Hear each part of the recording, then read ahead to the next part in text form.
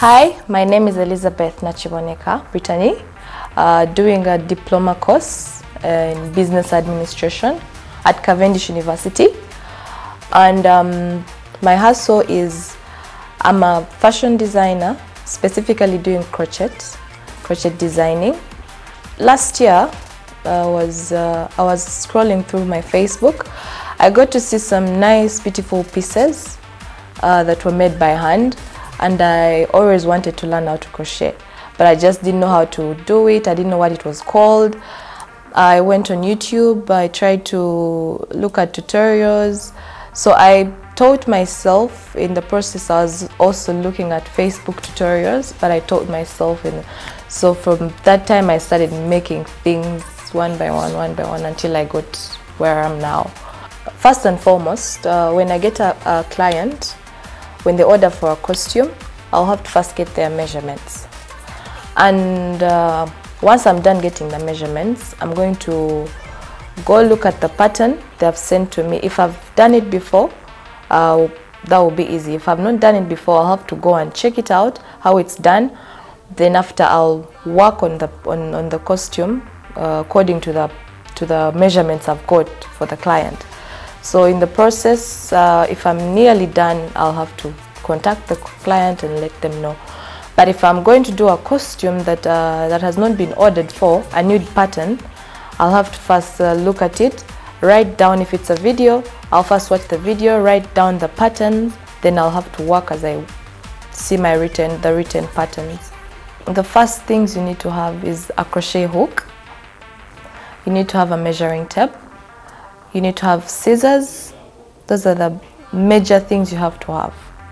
I do marketing on social media, my social media platforms, Facebook, Instagram, and my WhatsApp.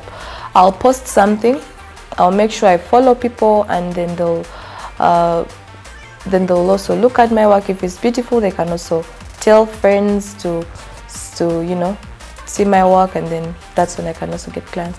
Then the second thing is I've tried working uh, working with some few uh, should I call them influencers so I make special pieces. Sorry, uh, make special pieces for some few people. Uh, for example, I've worked with uh, Rachel Ray. I've worked with Doreen Cabaret. So if they have like photo shoots, if they are going anywhere, um, I'll make a piece for them and they'll go and market it in public wherever they are going. And I have some few branches in Entebbe, like two boutiques that sell my work. So my prices range uh, with creativity and time taken. So, but my, my list price in my products is like 35 to 40,000. Well, my achievements in this hustle have been my main, I've got to, I've got to explore the fashion industry more. I didn't know a lot of things about the fashion industry really until I got to do this. I've got to, I've also got to meet some few people I, I look, I look up to in this industry, the crochet industry. I've got to meet them. I've got to, I've got to also, I've increased, my skills have really increased. Um, it's, it's not been quite hard, really, because uh, going to school doesn't mean I have to go to school every day. I don't go to school every day. I'll go maybe two to three days a week and I'm not going to study for the whole day. Most of my lectures are there, like I have like two or one a day. So, and crocheting is my passion really. So it's not something that's going to stress me and uh, I'll have to leave school. When I get home, let me say I'm, I'm done reading, so I'm watching something, I'll work as I'm watching, I'll work as I'm doing. It's not something that really takes your time and so you do, you do it, you realize, um, you can even sit down like at six, you realize it's nine when you're still on one piece. My main, main challenge is my some of my clients want to pay less for these outfits and um, I'm sure it's a problem with all those other crotcheted. So people think uh, this, this, this, this business is really, is, you know, because long time ago, um, our, um, our mothers and maybe great grands used to like work when they were bored, to crochet when they were bored. So it's something that really takes time. Someone will order for something and tell them the price and you know you know how you're going to you're going to take time on it, you're going to make sure it's yeah, it's looking good. And they'll be like, oh, that's really, and they, they're offering less. So I've really gotten a problem with that. So trying to convince them is really a problem. I can, I'll be able to do more things. Let's say set up a set up a boutique or a showroom for my work. I'll be able to get um, to market my my things maybe more, like put in enough now to like market more and well, uh, personally, mm, COVID-19 has um, beginning of COVID-19. I'll say, start from there because now we are not. Yeah, um, I got issues with uh, delivery. I got issues uh, with, you know, most of my costumes are for festive, uh, outdoor events, maybe festive season like uh, Nyege Nyege or, you know. So most of them were closed.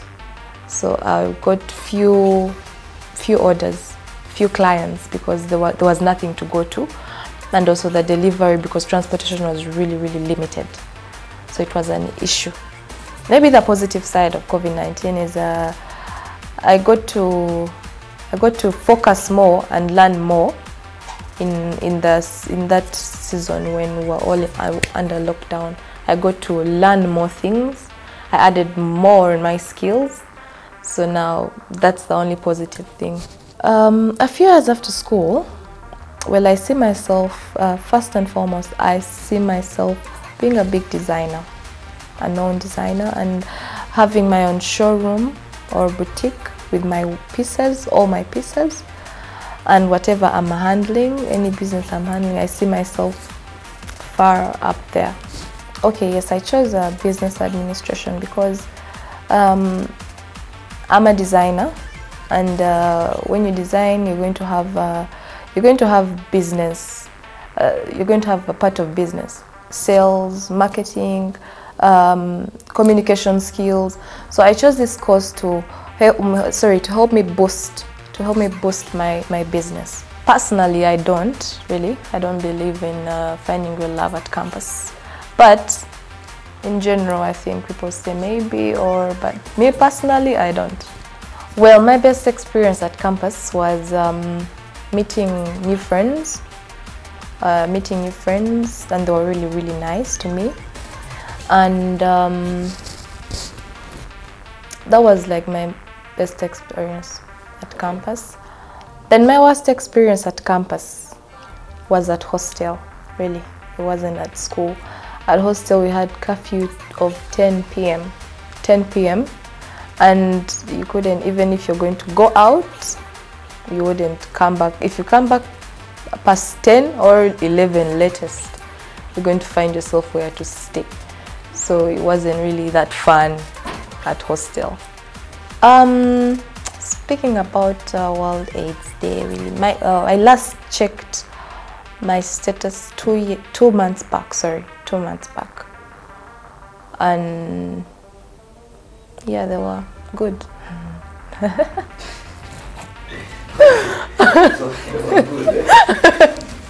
Um, my first, my first advice I would give is to stop the stigma of um, these people that don't have it. Uh, you know, um, excluding these ones that have it in, a, in different things.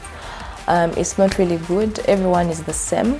Um, either they have it or not. We are all human. That's um, the first one. And the second one, for those that don't really don't have it, um, well, the follow the ABC. Really, it's done it for me. So abstain, be faithful, use condoms, and be safe. Well, AIDS is real. Well, the first things I, I expect when school opens for me is to finish school, is to go focus and then finish, because I'll be finishing school. So that's the first thing that excites me about getting back to school. Well, my message to the youth out there that don't have, you know, stuff to do, I believe um, if you've got anything that you think, anything constructive, but if you think of anything constructive in your mind, if something ever comes up and you feel like you can do it, well, do it. And the second thing is uh, when you're always going to do anything, never do things alone. Like always think of, always have that one, always ask someone that knows about what you want to do. And those that want to do this business, well, it's not a hard business. It's not a hard business and it's not also easy. It's not as easy as you may think it is, but it's it's really fruitful, really.